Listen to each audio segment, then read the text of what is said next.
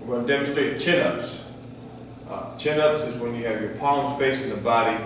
We're going to pull ourselves as high as we can, squeezing our elbows to the rib cage, falling all the way down to full extension at the bottom. All right? Controlling the movement. Palms facing yourself. While we're down, Pull. And. Pull. And down. That's chin-ups.